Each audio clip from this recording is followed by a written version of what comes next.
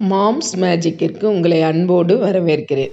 இன்னைக்கு நம்ம கொத்தமல்லி இலையை வச்சு ஜூஸ் எப்படி போடலான்னு பார்க்கலாம். இந்த ஜூஸுக்கு தேவையான பொருள் ஒரு லெமன் ஒரு கை நிறைய கொத்தமல்லி இலை ஒரு துண்டு இஞ்சி. மிக்ஸி ஜாரில் கொத்தமல்லி இலையையும் இஞ்சி துண்டையும் சேர்த்து நல்லா அரைச்சி வடிகட்டியில் அரைச்சி இப்போ ஜூஸ் எடுத்து வச்சுருக்கிறேன். இது கூட லெமன் ஜூஸையும் சேர்த்துக்கலாம். ஒரு லெமன் சேர்த்துருக்கோம்.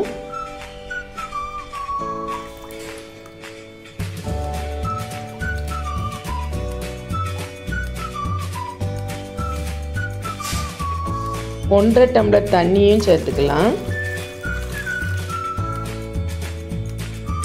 இந்த ஜூஸுக்கு தேவையான அளவு உப்பையும் இப்போ சேர்த்துட்டு நல்லா மிக்ஸ் பண்ணி விட்ருவோம் கொத்தமல்லி ஜூஸ் ரெடி ஆயிட்டு இந்த கொத்தமல்லி ஜூஸ் குடித்தா ரத்தம் சுத்தம் ஆகும் புதுசாக ரத்தமும் நம்ம உடம்புல சேரும். ரத்த சொகை இருக்கிறவங்க இதை குடித்தா நல்ல பலன் கிடைக்கும்.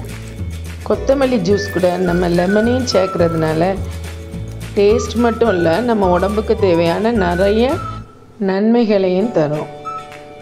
பசியையும் தூண்டும்.